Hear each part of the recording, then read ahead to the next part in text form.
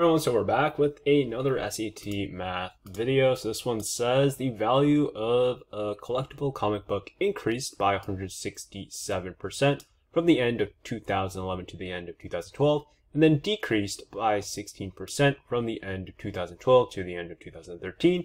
What was the net percentage increase in the value of the collectible comic book from the end of 2011 to the end of 2013? Alright, so first off, from 2011 to 2012, we've got, um, let's just call the starting value of 2012, sorry, the starting value of the end of 2011 as x. And now we're going to apply a value of 167% to the end of 2012. All right, so x here. So 167% can also be represented as 2.67 as our scale factor. Now, why? Well, because you can either think of it as a 100% increase is just a 2x multiplier, and therefore you can just add the 0.67 over it, or you can use the formula 1 plus or minus, depending on the uh, increase or decrease, over percent over 100, right? So here, if we were to plug in 167, right, 167 divided by 100 would be 1.67, and 1 plus 1.67 would give us 2.64. So now here know that our current value at the end of 2012 is 2.67x.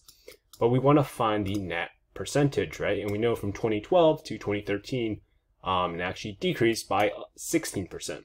So we can just use our formula over here, 1 minus 16 over 100.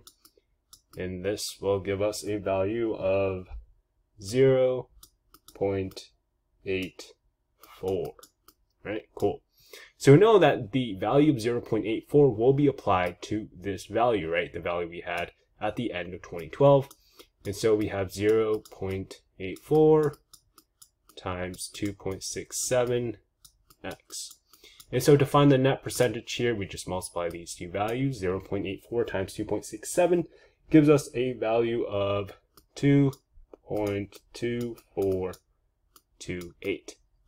This is not the percentage, it's a scale factor, right? So now we can utilize this uh, equation again. So we set this equal to 1 plus percentage over 100, and we just solve for that percent change, right? So we can subtract 1 on both sides, subtract 1 on both sides, then we get 1.24 something, and we multiply both sides by 100, and so this will ultimately give us around 124%. So around 124% increase matches up with answer choice A, and therefore that is our answer. Make sure you check out our other SAT prep videos, and good luck on your SAT.